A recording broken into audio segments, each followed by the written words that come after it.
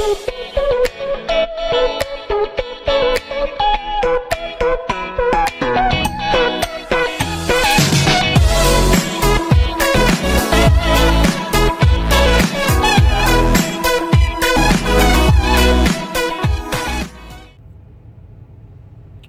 guys, I'm back with another video. As you see, I am outside of Dollar General right now. I've got a few coupons that are expiring today that I was going to go in and use before um, close of business today. These are the ones that I'm planning on using. I'm also going to use a 3 off of 15 on this um, because all of this, all of these um, products added up together comes up to like 16.50 and then we'll add the tax in.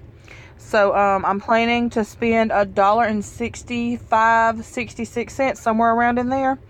Uh, we'll see how it goes once I get in.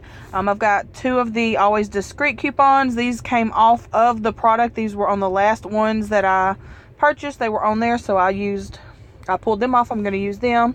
I've got this $3 um, fling coupon. I'm going to use that on the 16 count pack.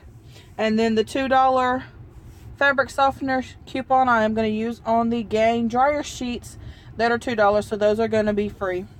So you guys stay tuned and I'll give you an update on when I get home, what all stuff I got, how the transaction went. So stay tuned.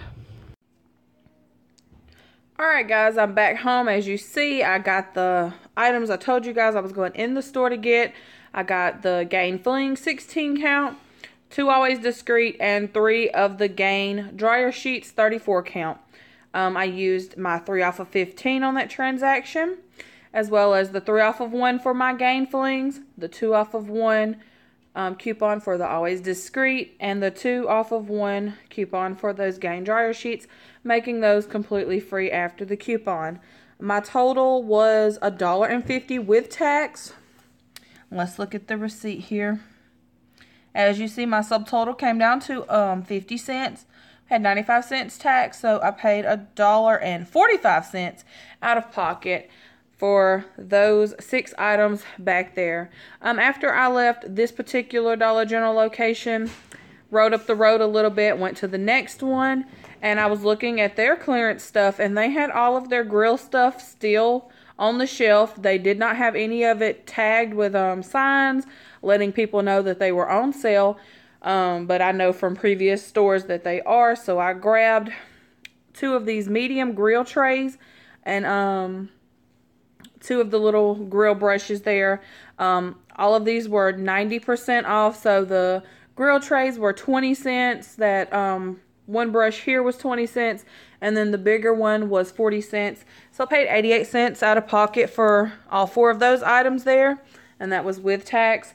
Um, I thought it was really strange that they didn't have any of those items um, with signs up letting people know that they were on clearance and to purchase them. I would have grabbed more, but I didn't know what all we needed, anything that we might want to stock up on. I'll talk with Jay later on, let him know what all they had there. Maybe we'll go back and grab some more of that stuff later on.